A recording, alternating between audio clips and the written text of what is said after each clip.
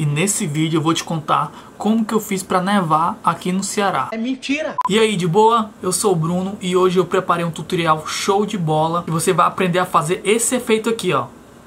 É um efeito neve, é um efeito bem bacana, então já dá o like nesse vídeo porque esse tutorial você só vê aqui. É verdade. Então, sem enrolação, vamos pro vídeo, vamos aqui pro Photoshop. Já estou aqui com a foto original, eu já fiz tratamento de pele e tratamento de cor nessa imagem e vamos começar a fazer o efeito sem enrolação. Primeiramente eu vou duplicar essa camada com Ctrl J, vou adicionar um ajuste de saturação, vou aqui vir em matiz de saturação, clicar, aqui onde tem principal eu vou mudar para amarelos, vou tirar toda a saturação do amarelo e vou aumentar a luminosidade, aumentar bastante a luminosidade, vou vir aqui também no verde, diminuir a saturação e aumentar a luminosidade. Você vê que aqui já ficou um ajuste bem bacana, né?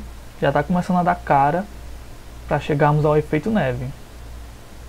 Mas você pode perceber que o cabelo dela também perdeu um pouco de cor, né? O cabelo dela é loiro, nós tiramos a saturação do amarelo.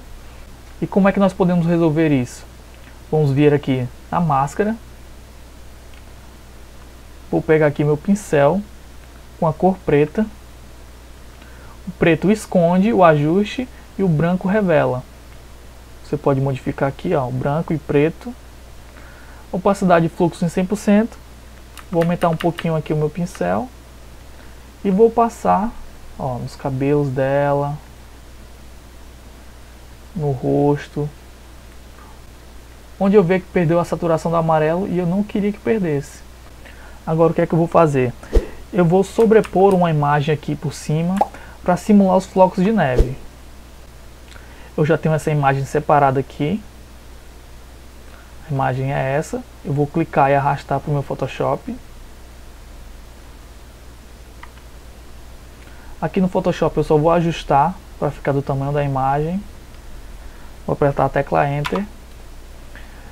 E aqui no modo de mesclagem eu vou mudar para divisão.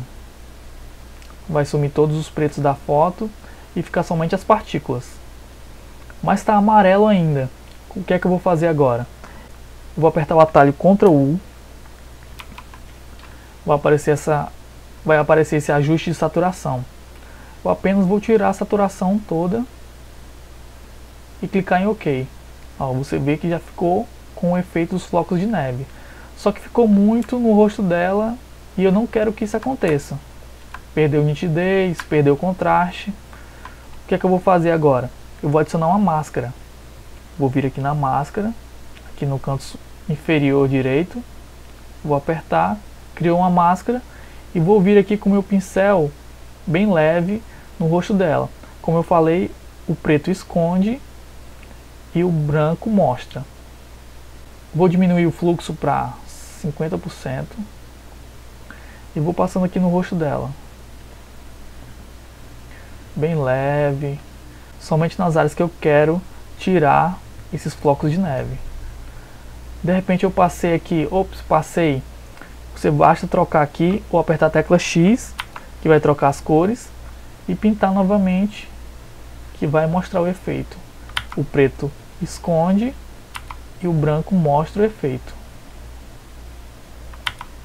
Agora é só você fazer o ajuste, tirar das áreas que você não quer os flocos de neve mas é o rosto dela mesmo. E é isso, esse é o efeito. Só uma observaçãozinha rápida aqui. Para achar aquela imagem que eu fiz a neve, basta pesquisar aqui no Google poeira. Você vai aqui em imagens. E sempre tem aqui ó, algumas poeiras com fundo preto. Você vai achar várias ou então você pode pesquisar também em inglês Dust que vai aparecer várias imagens para você utilizar. Eu acho que eu peguei a eu acho que foi essa imagem que eu baixei para fazer esse tutorial. Mas tem várias aqui, você pode escolher a que mais se adequa com a sua fotografia. Agora diz aí se esse tutorial não foi show de bola. Então, ó, já se inscreve aqui no canal, já deixa seu like, ativa aqui as notificações para sempre receber, para sempre receber mais tutorial como esse. E também não esquece de me seguir lá no Instagram underline Bruno Foz, primeiro link aqui da descrição. E lá no Instagram eu dou dicas exclusivas de edição de foto. Às vezes eu tô editando alguma foto e descubro algo legal, já compartilho com a galera lá no Stories. Então é isso. Nos vemos no próximo vídeo. Valeu, tamo junto, hein?